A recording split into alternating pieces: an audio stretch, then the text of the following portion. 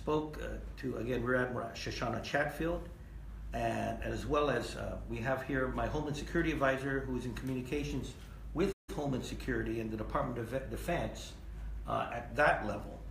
And the, the, statement we want to make, make very clear to the public that there has been no change in the threat level to Guam. There's been a lot of rhetoric coming out, and it's important to, to uh, uh, bring that message out to the people of Guam. This, this is not a time to panic. Uh, these are many statements that are being made uh, out there by a very bellicose leader, but at this point, there has been no change in the security situation here in Guam. Uh, I've gotten assurances, again, from all levels, both local command and Washington, D.C., uh, that this island will be defended and is, uh, and, and the United States military has their forces ready to protect and defend not only Guam, but all American interest uh, in this region and the homeland. Uh, and with that, I, I'll look towards any comments or questions, unless, George, you want to add on anything to that? No, sir, not at this time. Okay, that's my statement. So, any comments or any questions? Please sit down, folks. Yeah, yes, Clint. Uh, are we aware or not of the capabilities of North Korea as far as what's they've been doing a lot of testing lately? Mm-hmm. Uh, they claim to be improving their missile capabilities, and there's some reports also that they now have a missile that they can fit a nuclear warhead onto mm-hmm. that could reach Guam. Do you know if any of that's true? At this point, as what has been provided to me by uh, federal officials, again, both local uh, and in Washington, is that threat level remains the same.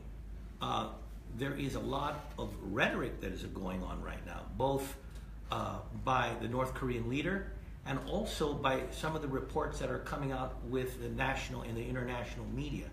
Uh, but at this, this point, to this point, it has been made very clear to me that the defenses of this island uh, and the perceived threats, uh, there has been no change of status.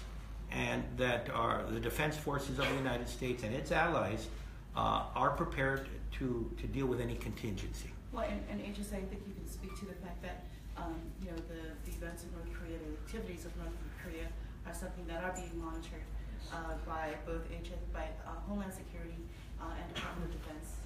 We, we continuously monitor the situation, not just in North Korea, but uh, around the, the, area, the region. Um, we are, like the governor mentioned, we are in close coordination, not only with our local federal and military partners, but also the national partnership. So uh, that uh, perceived uh, new threat uh, is just that.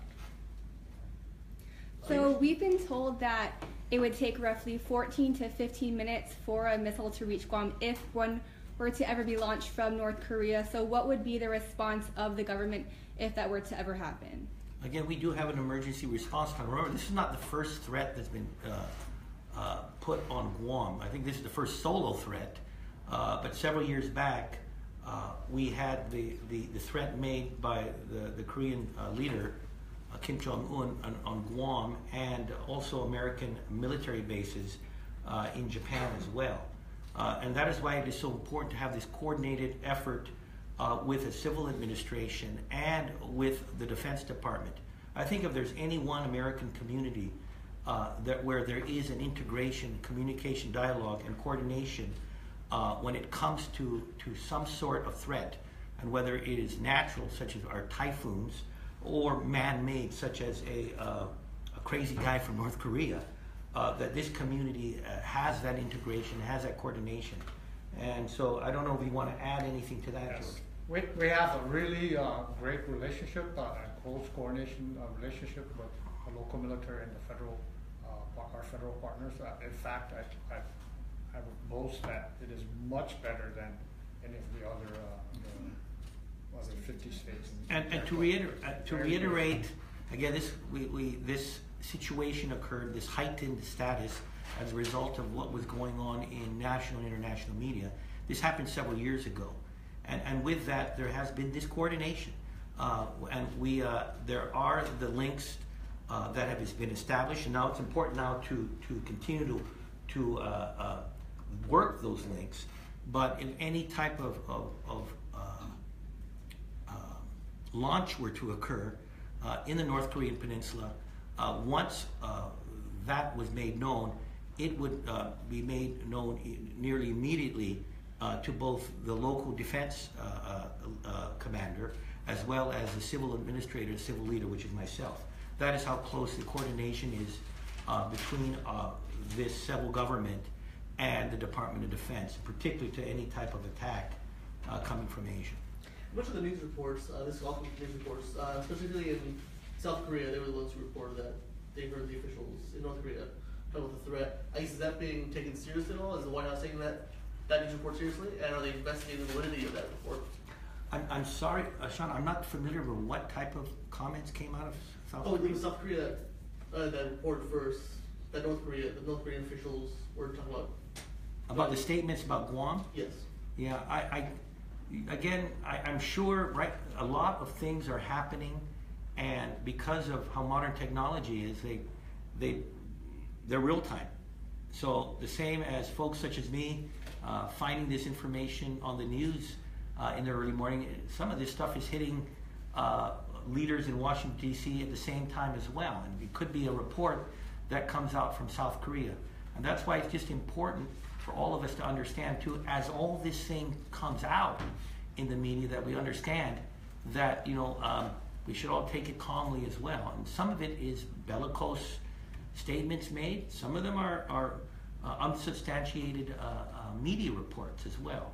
So it's important that, that for us uh, to, to uh, have a dialogue, communication. For me as a governor, uh, it's important to, to have my, my, my focal point, the in, my, my main interest is the health and, sa- health and safety of the people of Guam. Uh, so we have our local uh, uh, civil administration, the government of Guam, uh, and the certain agencies that we have have under our purview, myself, uh, as well as our partners here in the community, such as the Defense Department, uh, again headed by Rear Admiral Shoshana Chatfield. So we are constantly in dialogue. Uh, it was important this morning uh, for me to contact and, and, and have discussions with representatives from the White House and from the National Security Agency. And there is a harmony uh, of, of uh, uh, I guess what you would call the communications and the, and the facts coming to us. And that is, at this point, there is no uh, increased threat to this island. And we will be providing more information as it becomes available. So, so I, I just, I think it's important that, I, I think it's important for all of us uh, as we hear and see all this stuff coming out in the news, and I'm talking the international news, that at the same time we see and you hear what's going out from the news, we also uh, get the, the, the actual information out that, that is coming from official channels, and whether it's from our local government uh, or the federal government uh, or from other governments such as uh, the, the government of Japan or, or the government of South Korea. Gov, uh, you said that there's no increased, uh, uh, no increase to our threat level. What is our current threat level? Uh, It's still the same, it's, it's, there's normal, it's normal. So it seems there's been a lot of communication between local and federal entities. Uh, but what about for people in the community who are maybe concerned about these recent threats? What would you tell them on what they can do? Enjoy paradise. Uh, don't, don't worry about this guy. Okay, that's what the government's saying. The, the, the message is that, that we, we don't want folks to panic, and, and if we do get more Well, information, we will, we will let And I think it's important, you know, um, there, there is one American community that is prepared for any contingency. It's Guam. As I look at you folks here, we've had uh, earthquakes of 8.2. We've had super typhoons uh, hitting nearly 200 miles per hour. Everybody knows here, even though we, uh, you know, uh, we have an emergency preparedness plan, everyone knows how to prepare for any type of contingency, whether it's natural uh, or man-made. But I don't even want to get us to that level right now because we're not even at typhoon condition three, if you want to say that, or typhoon. We're, we're if, I guess if you were to equate things, how we are in condition readi- readiness four, that's kind of like how we are with the situation uh, with North Korea. There's just a lot of rhetoric that has happened real quickly and it has hit us.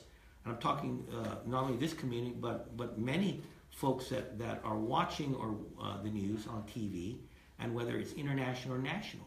Now you've got to separate what you're seeing happening with reality of, of, of the, uh, uh, with the situation and with all the information that is given me with to me, there has been no change in status in regards to the, the, the threats to Guam. Uh, there's no increased threat uh, in the military here in Guam, nor there, nor there is any increased threat uh, to the people of Guam from the civilian side. But we will be having this constant communication with the local command and also uh, with the federal government of anything uh, if anything changes. And that's something I, I, I, I commit to the people and commit to the media that we're going to get information real time. Once we get it, we'll get it to you folks. Mr. Charfauros, could you speak to the missile defense capabilities of Guam? Is the THAAD still here? What other missile defense capabilities lie in between Guam and North Korea? Okay, I'm, I'm gonna speak to the unclassified ones, and, and, and you can, you know, all this info can just, you can go online and get, get, uh, find out what it is. It's, the, the bigger umbrella is called the National Missile Defense. So not only is the THAAD, which is located up in, in Andersen Air Force Base, permanently stationed here because of what happened in April two thousand and thirteen, but that capability still exists, and it's, the condition of that uh, is highly, is re- ready. Okay, so that's one missile system. The other, there's, right around the Sea of Japan, they have the Aegis warships. Uh, those are also, uh, you know, part of the national missile defense. There's other, there's other systems out there, uh, which I am not at liberty to talk about, but, you know, like Oya tells me, all those put together, you know, point zero zero zero zero one chance of that missile getting through that, Yeah. that layer. So, like the governor said, we're on condition Yeah. four. To me, we're on condition Yeah. five. Go, go out and barbecue, have fun, you know, Things have- enjoy life. Things have not changed. Again, talking to officials both in Washington D.C. and Guam, there is a uh, there is a um, layered uh, defense umbrella uh, to Guam and and to the United States. So with that layered defense umbrella, uh, the the again those that are uh, of uh, those responsibilities feel very confident on, on the security of Guam, and that's why there has been no change to to any type of security threat level to this territory. What would you say to those people who feel that these uh, threats from North Korea might spur anti-military sentiment because they feel that Guam is a target because of the military bases here? I, I think what is happening now uh, uh, and the, the heightened uh, awareness of Guam, particularly as a target by North Korea, for those that ha- have anti militaristic, uh, um, um, their, their philosophy is, in, in, is uh, or their, their cause is being anti military, I think that will probably uh, keep them in that direction. Uh, yet at the same time, there are those that have a, a, sto- a strong backing towards a military presence here. Um, that will also fortify their uh, reason for why we need a strong military here. So, as to how people's attitudes will change, whether you're anti military or pro military, I think the issue here uh, on North Korea, because it deals uh, with uh, the military uh, and warfare component, uh, it would it would fortify either position. We have time for two more questions. How ready would you say Guam is for a potential threat, like a potential missile strike from North Korea? Are you talking about the military side or the government of Guam or the, the, the civilian side? From the government of Guam.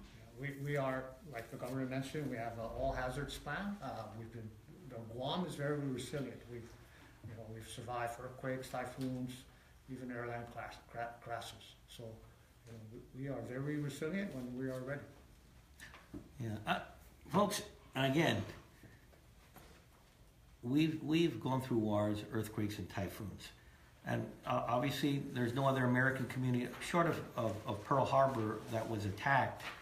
Uh, you know that that has gone through war, such as Guam. But if you look at recent history, you could go over the last typhoon, uh, where you know, usually if you see a, a, a major typhoon, a category three or four hit Guam, uh, that you see recovery uh, within hours uh, of its departure from the island. I, I can state that if you take a look at some other states, uh, where there has been a hurricane that has hit ground zero there. Uh, and the, the amount of time it took, not, not only for preparedness, but also the aftermath and recovery, I, I would put Guam ahead of any state or territory in terms of preparedness for any type of disaster, natural or man made. All right, thanks, everyone. All right, take care, everybody. Thank you. Okay, all right, George. Oh, I did mention the civil, uh, we are, after talking with the Admiral, uh, uh, with this briefing, we are setting up again this, uh, uh, Unified Coordination Group. so these folks will be constantly in dialogue, constant communication, comparing notes, uh, and, and getting information real time. Uh, where again we have a unified approach uh, towards any contingency uh, that hits the island of Guam. Again, that's the, ci- the civil side as well as the military side. Right? Take care. Y'all.